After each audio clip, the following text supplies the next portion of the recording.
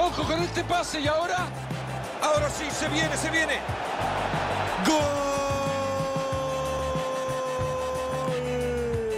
Ni un cuarto de hora en el partido, ya tenemos gol. Empezar el partido así tiene dos caminos. O se queda como estamos o vemos muchos goles.